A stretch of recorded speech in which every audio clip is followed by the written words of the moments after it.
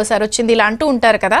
ఇలా వచ్చినప్పుడు ఏమన్నా పరిణామాలు జరిగాయా? అంటే బాగా భయంకరమైనవో లేకపోతే ఏదన్నా? అండ్ ఇలాంటివి వచ్చినప్పుడు ప్రజలు ఏమైనా చేసుకోవాల్సిన పరిహారాలు లాంటివి ఏమైనా ఉంటాయా? అవునండి. ఇది ఈ మధ్యన ఒక ఫ్యాషన్ అయిపోయింది ఏంటి అంటే ఏదొచ్చినా వంద ఏళ్ళకోసారి ఒకసారి నూట యాభై ఏళ్ళకోసారి ఒకసారి లేకపోతే నాలుగు వందల ఏళ్ళకోసారి వచ్చిందని చెప్తున్నారు. అన్ని ఏళ్ళకు ఒకసారి వచ్చేవి మనం ఉన్నప్పుడే రావాలా? ఉదాహరణ గోదావరి పుష్కరాలు ఉన్నాయి. మహా పుష్కరాలు ఎప్పుడుకో కానీ రావన్నారు. సో అలాంటివి ఏమి ఉండవు. ఎప్పుడు ఏం జరిగినా కూడా చాలా ఫ్రీక్వెంట్గా జరుగుతాయి. కొన్ని మాత్రమే చాలా రేర్గా జరుగుతాయి. ఉదాహరణకి కొన్ని తోకచుక్కలు పడుతూ ఉంటాయి. ప్రతి డెబ్బై రెండేళ్ళకో ప్రతి డెబ్బై ఐదేళ్ళకో ఒక తోకచుక్క పడుతూ ఉంటుంది ఆకాశం నుండి. అది జరిగినప్పుడు కొన్ని అనర్థాలు జరుగుతాయని చెప్పి మనకి కొన్ని శాస్త్రాల్లో రాశారు. ఉదాహరణకి అది పంతొమ్మిది వందల ఎనభై మూడో సంవత్సరంలో మన భూమి మీద పడింది. అప్పుడు కొంత గడ్డు కాలం అంత ముందర డెబ్బై ఏళ్ళకు ఒకసారి పడింది. సో అటువంటివి ఏమైనా ఫ్రీక్వెంట్గా జరుగుతాయి తప్పితే ఈ కూటములు గాని కాలసర్ప దోషాలు గాని అంత ఫ్రీక్వెంట్గా అదే అంత రేర్గా ఏమి జరగవు. సో ఇప్పుడు ఉదాహరణకి తీసుకుంటే గత పదేళ్ళకి వెనక్కి వెళదాం.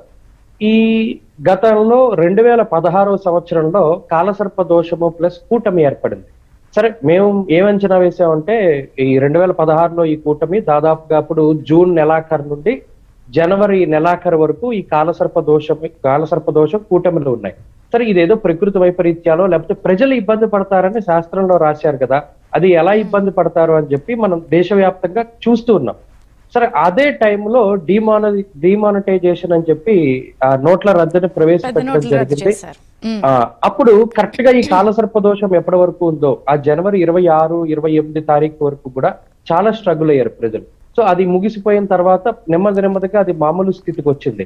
సో రెండు వేల పదహారులో సంభవించినటువంటి ఆ కాలసర్పం మరలా తిరిగి రెండు వేల పంతొమ్మిదో సంవత్సరం ఇరవై ఇరవై ఒకటి ఇరవై రెండు ఈ కూటములు కాలసర్ప దోషాలు ఇవి వరుసగా వస్తూ ఉన్నాయి. ఇది వరకు ఇంత ఫ్రీక్వెంట్గా వచ్చేవి కాదు రేర్గా అప్పుడప్పుడు మూడేళ్ళకోసారో నాలుగేళ్ళకోసారో వస్తూ ఉండేవి. అవి ప్రకృతి వైపరీత్యాలు ఏవో జరుగుతూ ఉండేవి. కానీ ఈ మధ్య కాలంలోనే చాలా ఫ్రీక్వెంట్గా విపరీతమైనటువంటి గ్రహస్థితులు ఆరు గ్రహాలు కలవడం ఐదు గ్రహాలు మన దేశంలో కాస్త నమ్మకాలు లేకపోతే ఈ ఇవన్నీ కూడా కాస్త ఎక్కువగా ఉండే పాటించే దేశం కదా? ఏమైనా పరిహారాలు చేసుకునే ఉంటాయా? జాగ్రత్తలు కానీ ఏమైనా పరిహారాలు కానీ ఉంటాయండి పరిహారాలు అంటే ఇది మన ఈ వేద ధర్మం అంతా మన భూమి నుండే పుట్టింది కాబట్టి దాని తాలూకు వేర్లు ఎప్పుడు కూడా మన దేశంలోనే ఉంటాయి. వృక్షాలు విదేశాలకు వెళ్ళినా కూడా ఇక్కడ వేర్లు ఇక్కడే ఉంటాయి కాబట్టి ఈ కూటములు కాలసర్ప దోషాలు ఏర్పడినప్పుడు లేదా ప్రకృతి వైపరీత్యాలు దేశారిష్ట యోగాలు పట్టినప్పుడు ముఖ్యంగా గతంలో యజ్ఞయాగాది క్రతువులు జరిగేవి.